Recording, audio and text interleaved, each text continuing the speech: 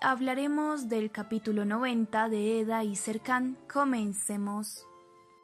Este capítulo comienza con Eda, Melek y Seren en la entrada de la empresa. En ese momento llega Erdem con Sirius, el perro. Él lo saca a pasear. Este era el perro de Serkan. Serkan sale de su oficina con Celine. Él ve a Sirius, lo llama, lo acaricia y le dice Has crecido mucho, Sirius. Eda los mira y dice Sirius, ven aquí. Sirius corre hacia Eda y dice Yo lo cuidé en tu ausencia y él se acostumbró a mí. Serkan dice ¿En unos meses? Sirius estuvo conmigo durante años. Eda dice Pero él ya se acostumbró a mí. Serkan dice Pero él se irá conmigo, es mío. Sirius está al lado de Eda y esta dice, Creo que te puedes dar cuenta del lado donde quiere estar. Celine dice, ¿podemos continuar con esto luego? Tenemos que ir a una conferencia de prensa. Serkan dice, está bien. Ellos se van de regreso a la oficina de Serkan. Celine dice, todos están interesados en lo que te pasó luego del accidente aéreo. Yo creo que no es necesario hablar de eso. Creo que solo deberías decir que estás sano y volviste al trabajo. Serkan dice, ¿tenemos que hacer esta conferencia ahora? Porque la verdad tengo mucho trabajo. Celine dice, desafortunadamente sí.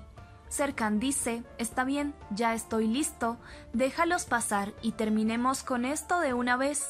Celine dice, Me alegra verte bien, mi amor, confiado y saludable. Celine sale a hacer entrar a la prensa y Eda entra rápidamente a la oficina de Serkan y se esposa él. Serkan la mira sorprendido y le pregunta, ¿qué haces? ¿Por qué me esposas? Eda dice, porque quiero. Serkan se pone de pie y dice, Señorita Eda, usted no puede esposar a la gente porque se le dé la gana. Eda dice, lo hice porque pensé que te recordaría algo. Serkan dice, ¿que me recordarían unas esposas? Estoy trabajando y no había visto algo tan estúpido. ¿Acaso fuimos cómplices de un crimen? Eda dice, sí, soy culpable de amarte y estaré a tu lado siempre. Mi condena es estar a tu lado toda la vida. Serkan toma asiento de nuevo y dice, no sé qué ha estado pasando en esta empresa estos últimos meses que no logro recordar. ¿Podrías explicármelo?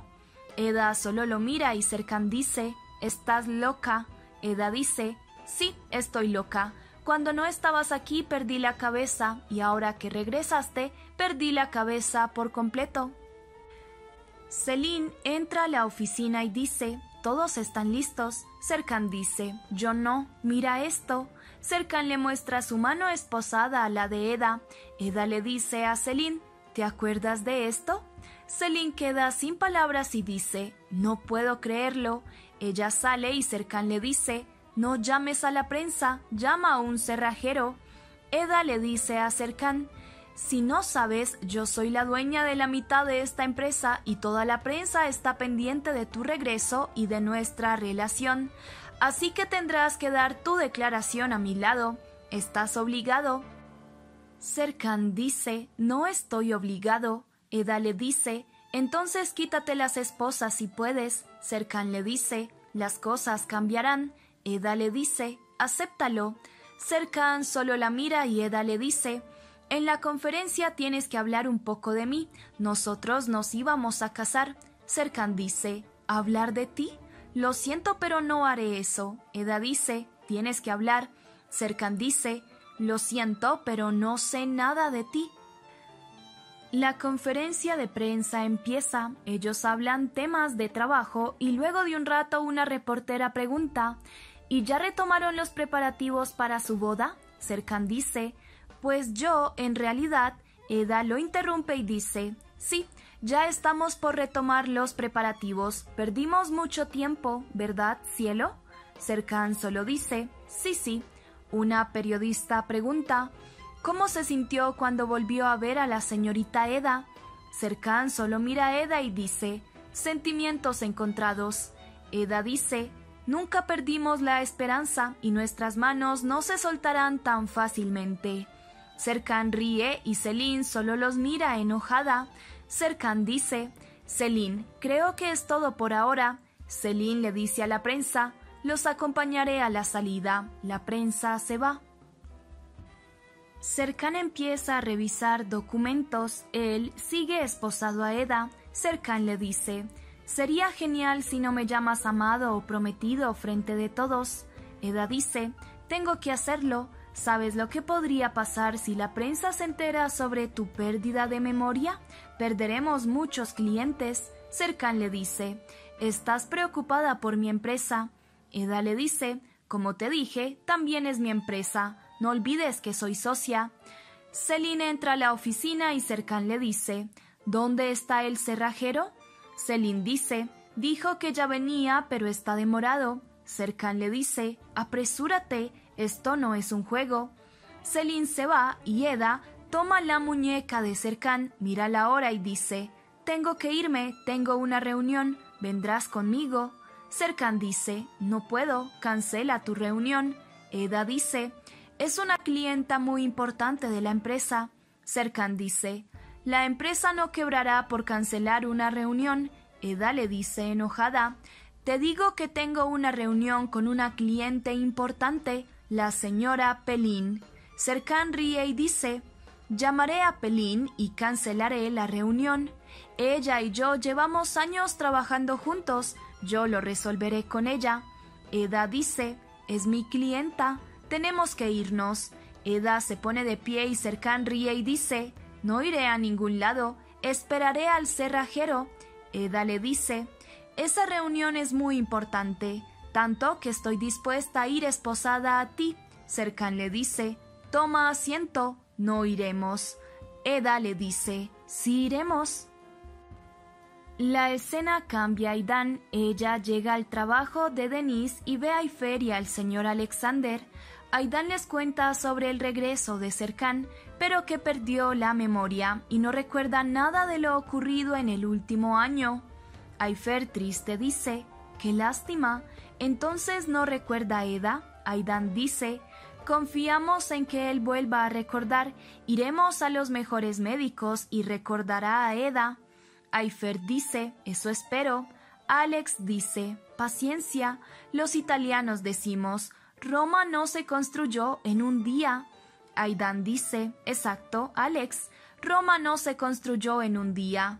Denise dice, necesitamos ser pacientes. Serkan tiene que pasar por un proceso para intentar recuperar la memoria. Aifer dice, me da tristeza por Eda. Ella tendrá que pasar momentos difíciles. Tú me entiendes, ¿verdad, Aidan? Aidan solo queda pensando. Ella sabe que Serkan piensa que Celine es su novia ahora y Eda tiene que afrontar todo esto de la mejor manera. Regresamos a Eda y Serkan. Ellos están en el auto de Eda yendo a la reunión con la señora Pelin. Serkan dice, ¿por qué no fuimos en mi auto? Eda dice, me gusta mi auto, pero ten más cuidado al conducir. ¿Acaso olvidaste cómo hacerlo? Serkan dice, Sé conducir muy bien, pero este no es mi auto. Eda dice, no le llames auto, él tiene un nombre, se llama tío. Serkan dice, ¿tío? Eda dice, ¿qué pasa contigo? ¿Perdiste el sentido del humor? Serkan no dice nada y Eda dice, pisa el acelerador, vamos tarde.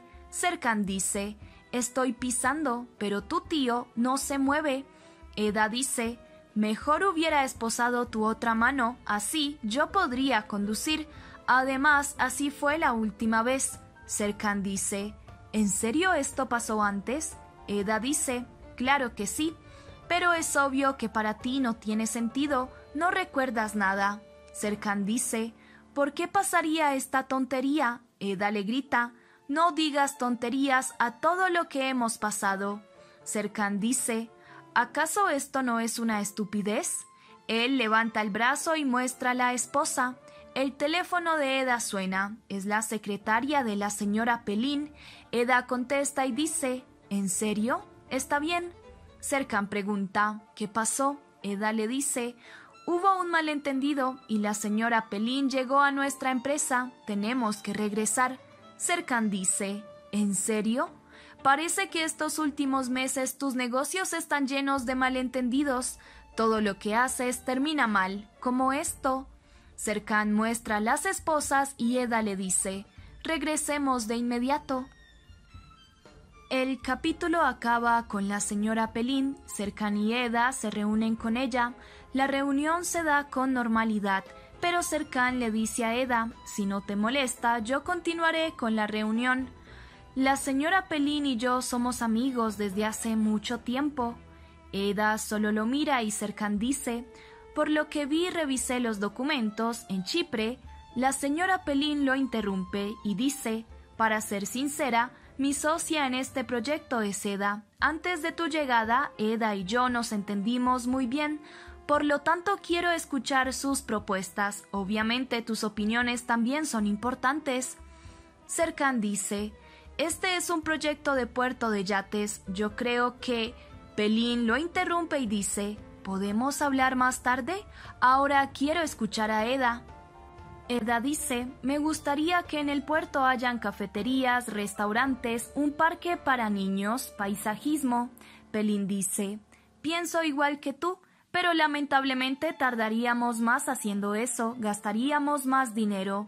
Eda dice, solo tardaríamos 14 semanas más. Pelín dice, más tiempo, más dinero.